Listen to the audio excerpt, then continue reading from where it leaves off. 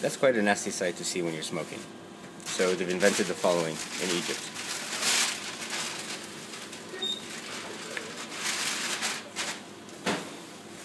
Awesome, eh?